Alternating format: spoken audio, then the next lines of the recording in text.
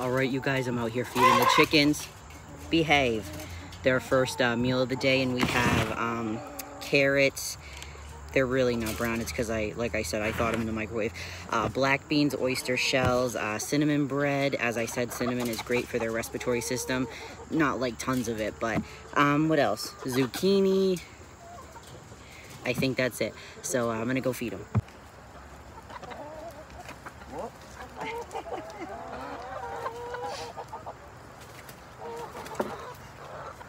Can I turn around? Can I turn around? All right.